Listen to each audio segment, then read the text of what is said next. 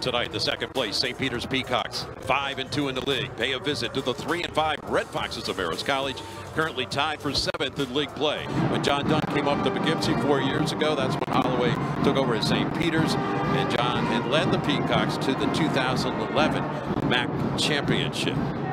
Ricardo Wright continues to stroke the ball well. Number four leading scorer in the MAAC, averaging 15, two a game, and he's number three in the MAAC in three-point percent.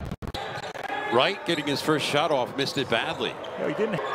Wright, deep step back tonight, but he got an open look.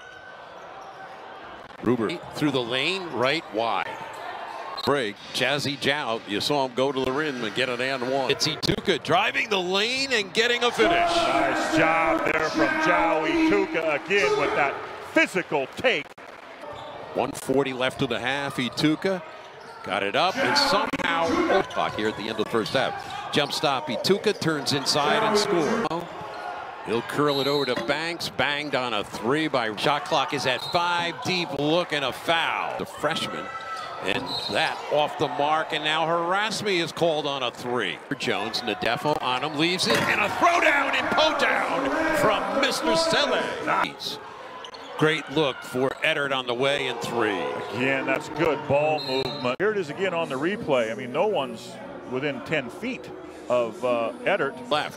Entered in, and a finish by Jones off. Going to the rim, last minute give up, and it dances. And coming in through the lane off the double pump. Right, hard dribble, reverse, no good again.